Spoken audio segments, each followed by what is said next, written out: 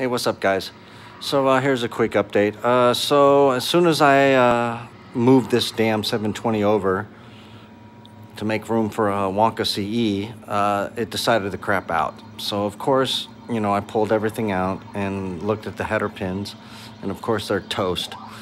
So I went ahead and ordered uh, all the header pins from Arcade Parts and Repair, and uh, went ahead and soldered those in, and everything's good.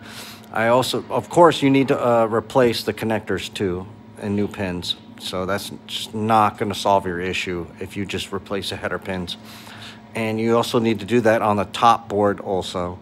So, but other than that, uh, since I replaced those header pins that I had on hand, everything is good to go for now. So we'll see next week I'll go ahead and replace all those, you know, the connectors and the pins with that. So, and that's it for that. And then uh, next week, we'll, uh, hopefully next Wonka, we'll go here and I'll do an, an unboxing for that, for a Wonka CE. So I'm looking forward to that. You know, this thing's still going good and, you know, everything's working as usual. As long as you get your power issues and everything just dialed in, it'll work. Everything works amazing. So, all right, man. Uh, other than that, oh, the, as far as this thing, uh, once I changed the header pins, uh, of course, the voltage on the board was way high. It was like at 5.8.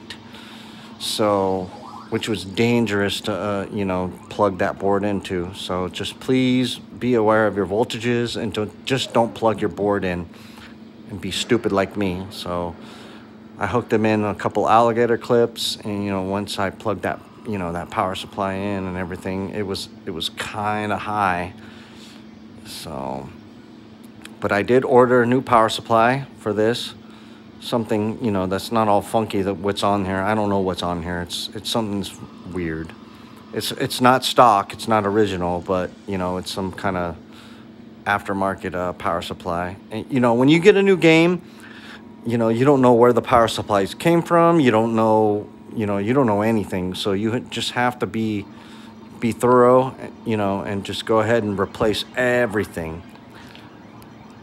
to make this thing rock solid. Yeah, as you can see on that top, it doesn't fill the screen. So I'm to get a cap kit on it, but it, it's, it's running good.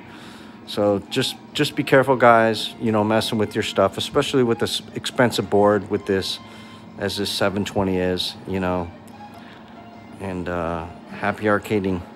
Talk to you guys later when I fill that space with Wonka. Yeah, yeah.